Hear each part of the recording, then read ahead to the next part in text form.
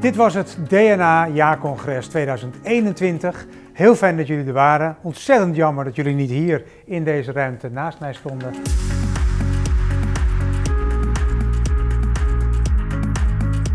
Je hebt twee rondes Learning Labs gehad en ik hoop dat jullie in die workshops heel veel nieuwe vaardigheden of nieuwe inzichten gekregen hebben. Inspirerende spreker was Arend Ardon.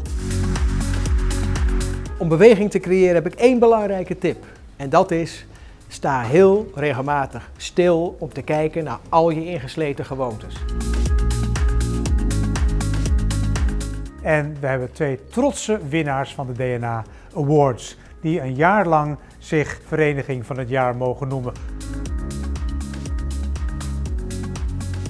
Tot het volgende jaarcongres natuurlijk, dat is in 2022 in de beurs van Berlage. En ik hoop dan dat we elkaar in levende lijven mogen ontmoeten. Dank jullie wel, fijn dat jullie er waren.